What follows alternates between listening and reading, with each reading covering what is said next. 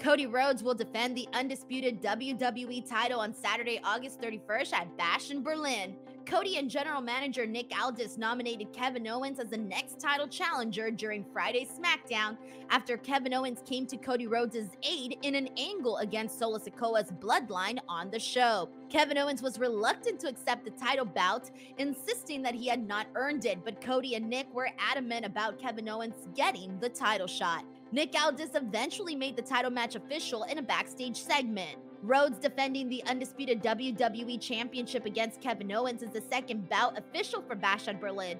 Already announced, new WWE World Heavyweight Champion Gunther will defend his title against Randy Orton at the event in Germany. And speaking of getting title shots, Santos Escobar defeated Andrade on Friday to earn a future United States Championship match. The finish of the match had Carmelo Hayes interfere, pulling Escobar out of danger as Elektra Lopez distracted the referee. The confusion allowed Santos to roll up Andrade for the win. Right before the match, LA Knight came out for a United States Championship celebration after he defeated Logan Paul last weekend at SummerSlam. Escobar interrupted the celebration and said LA Knight winning the title was nothing more than a fleeting moment and an opening act to his own championship reign. LA Knight said it didn't matter who won the number one contenders match, as everyone knows that it's his game. And speaking of LA Knight, according to a new report from Fightful, LA Knight will remain in WWE for years to come and with more money in his bank account.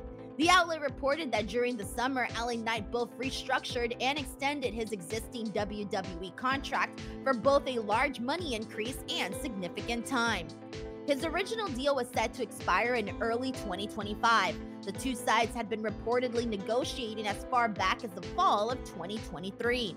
After a run in the NWA, the man once known as Eli Drake debuted in NXT in February 2021 under his new name and was called up to the main roster in January 2022 as a manager named Max Dupri, which was eventually dropped. In 2023, LA Knight's popularity exploded thanks to his promos. Set to turn 42 this November, LA Knight defeated Logan Paul for the United States title at this past weekend's WWE SummerSlam to begin his first WWE title reign of any kind. We're also going to be seeing a SummerSlam rematch, which is set for next week's Raw. On this week's show, Sami Zayn was despondent backstage over his loss against Bron Breakker on Saturday. Jey Uso attempted to cheer him up, saying he knew he'd get his title back in a rematch. Sami then revealed he already went to Adam Pearce and got the rematch for next week. The graphic for next Raw announced it would be a 2 out of 3 falls match. Bron Breakker did defeat Sami Zayn at SummerSlam to win the Intercontinental title for the first time, ending Sami Zayn's reign that started at WrestleMania 40. And after not being part of this past weekend's WWE SummerSlam, Bronson Reed did his best to ensure that won't happen again after destroying Seth Rollins during WWE Raw. A subdued and serious Seth Rollins came out to share some thoughts with CM Punk, and Punk called out Drew McIntyre for another match on Raw. He said, like Punk, he was also in a good mood because after 10 years, it was time to put Punk in the dirt. As the two were about to fight, Drew McIntyre appeared in the crowd to mock both of them and show CM Punk that he had his family bracelet. Punk then took his eyes off of Rollins and darted off to chase Drew in the stands. That left Seth alone in the ring, where Bronson appeared out of nowhere to lay him out. And although Seth Rollins fought back, Bronson Reed hit him with a Death Valley driver before several sentons and two tsunami splashes from the top rope. Officials and referees tried to get Bronson out of the ring area, but he decided to head back and hit a third, fourth, fifth, and sixth tsunamis instead.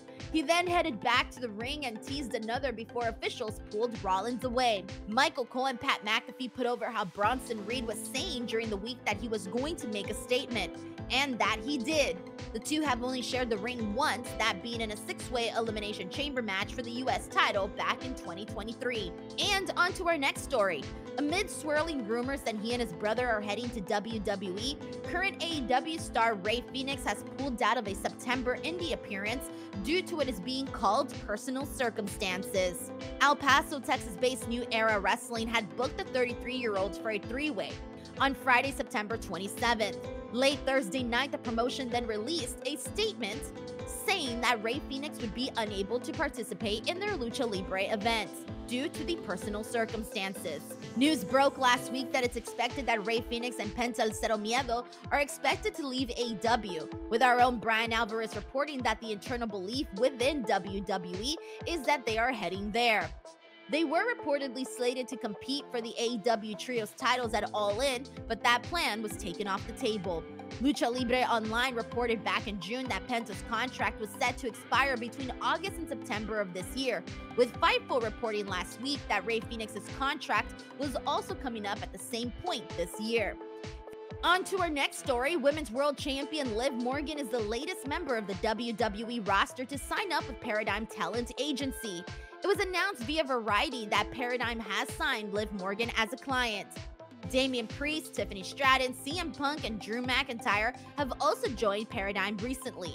It's one of the biggest talent agencies in Hollywood, trailing William Morris Endeavor, Creative Artist Agency, and United Talent Agency. Liv Morgan had her first movie role in The Kill Room, which was released back in September 2023. Shifting over to some AEW news, Britt Baker's storyline and real life suspension are both over as she appeared on Wednesday's AEW Dynamite via video to call out TBS champion Mercedes Moné and Kamille. After Kamille won a handicap match, Mercedes took the mic and once again thanked the EVPs, the Young Bucks, for their suspension of Baker. As she continued to talk, Tony Schiavone interrupted her with a message from Christopher Daniels via Tony Khan that Tony had overruled the Bucks and Baker's suspension was lifted. Tony Schiavone then threw it to Baker, who was live via satellite. Britt threw some verbal jabs towards Mercedes, including that whenever things don't go her way, she takes her ball and goes home. Britt then said she has seven days to figure out how she will get her hands on Mercedes next week.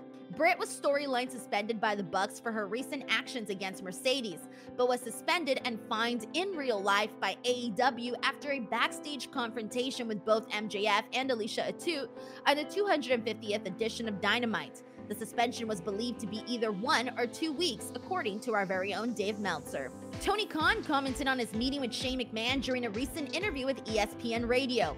A photo of McMahon and Tony Khan in a meeting room leaked online last week with Fightful and Wrestle Talk reporting two had met to discuss possibilities moving forward. The AEW president was asked about it while appearing at Sedano and Camp on Tuesday, to which he said, Well, as I understand, he's not doing anything with WWE, and I had a really nice visit with him. I heard from a lot of people that he was interested in talking, and it had become, frankly, a big media story to the point where I was getting asked on the record questions about it. And I answered them, and just like I'll answer you now, I had never met him in advance of my first conversation with him. There was a lot of buzz about this, so I thought it would certainly be worth talking. And I have a lot of respect for him. I had never met him, but he seemed like a really nice guy. I really enjoyed talking to him, and he is a very smart person about wrestling, and I thought he was a great guy. And we have a lot of mutual friends, and we both happen to be in Dallas. Tony Khan also noted that it was a mutual friend who put them in contact. Tony Khan then stated that the picture leaked online was taken by someone who busted in and took the photo. There is nothing wrong with a couple of people getting together and talking about wrestling. I think that's part of what makes wrestling so great is that there are a lot to talk about and we're all fans at heart.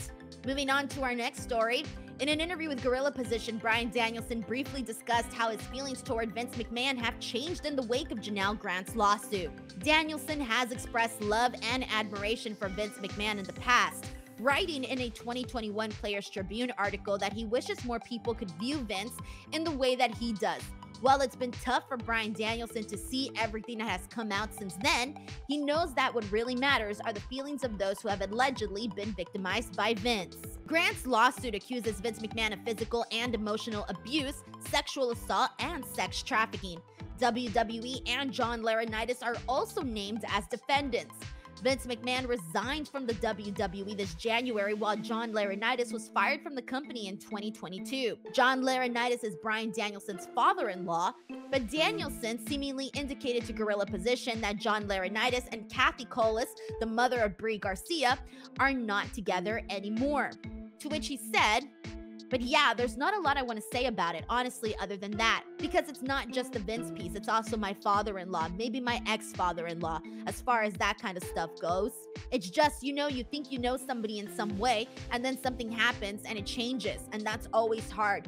But like I said, as hard as that may be for me emotionally, like this emotional thing, it's way worse for people who have been victimized by people in power. Additionally, Bryan Danielson did open up about the status of his neck. The AEW star sat down with Jim Ross in an interview that aired during Collision. When talking about the things he had done during his career, he brought up the status of his neck, saying he'd likely need surgery soon. He ended the sit down by talking about his upcoming match against Swerve Strickland at All In on August 25th. He said every time he has failed, he's learned something about himself. Bryan said that he thinks now he is the most mentally strong he's ever been in his career, and that is what will get him through the match at Wembley Stadium.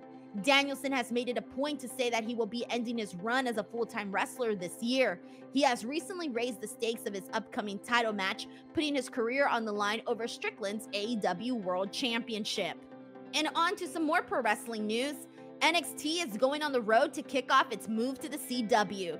Shawn Michaels revealed on social media that the October 1st premiere episode of NXT on the network will air live from Chicago's Allstate Arena. He also announced that the brand will head to St. Louis the following week. The launch on CW happens in Chicago, Illinois' Allstate Arena, October 1st. WWE's press release announcing the live events also mentioned special appearances from CM Punk and Randy Orton on the shows from Chicago and St. Louis.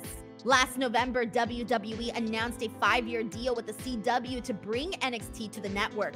TKO head Ari Emanuel would later tell investors the deal is a 70% increase from the previous one with NBC Universal, which was estimated between 20 to 25 million annually. Now, on to some TNA wrestling news.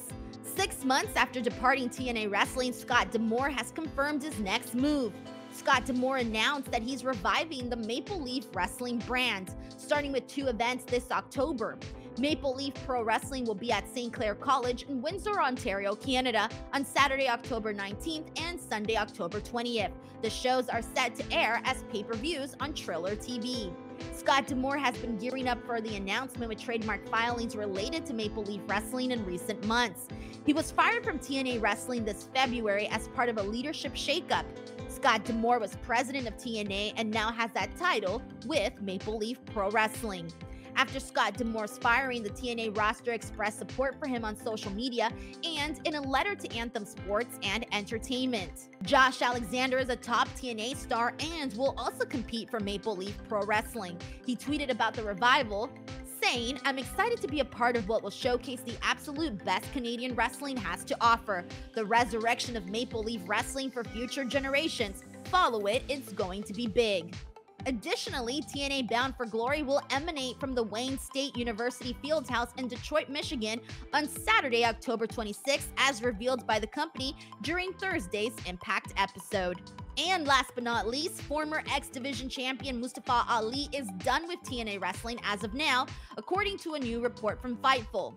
Ali posted a farewell letter to the X Division last week on social media after his defeat to TNA World Champion Nick Nemeth, but it wasn't fully clear if he was wrapping things up with his tenor overall. He first announced he was heading to TNA in January as part of a post WWE World Tour that has seen him in the rings of New Japan Pro Wrestling, GCW, Deadlock Pro, and Prestige Wrestling, among other groups.